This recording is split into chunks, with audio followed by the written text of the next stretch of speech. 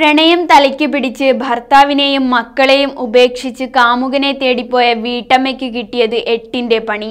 കണ്ണൂരിലാണ് സംഭവം. ഏറെ നാളായി കാമുകനുമായി പ്രണയത്തിലായിരുന്നു വീട്ടമ്മ.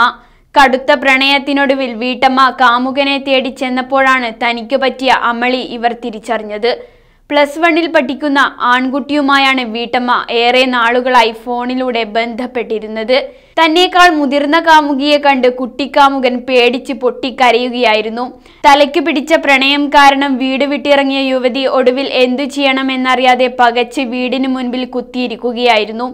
സംഭവം അറിഞ്ഞ് നാട്ടുകാർ വീടിന് മുൻപിൽ തടിച്ചുകൂടാൻ അധികം സമയം വേണ്ടി വന്നില്ല.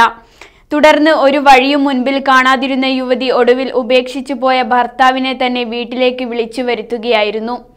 ഉടനെ തന്നെ സ്ഥലത്തെത്തിയ ഭർത്താവ് ഒളിച്ചോടിയ ഭാര്യയെ വീട്ടിലേക്ക് കൂട്ടിക്കൊണ്ടുപോയി. തന്റെ അച്ഛന്റെ പേരിലുള്ള മൊബൈൽ കണക്ഷൻ ഉപയോഗിച്ചായിരുന്നു മീശ പോലും മുളയ്ക്കാത്ത കുട്ടിക്കാമുകൻ രണ്ട് മക്കളും ഭർത്താവുമുള്ള സ്ത്രീയുമായി ബന്ധം സ്ഥാപിക്കുന്നതും പ്രണയത്തിലാകുന്നതും. യാതൊരു പരിചയവുമില്ലാതെ ഇങ്ങനെ ഫോണിൽ പരിചയപ്പെട്ട് ഒളിച്ചോടുന്നവരുടെ എണ്ണം ഇന്ന് കുറവല്ല.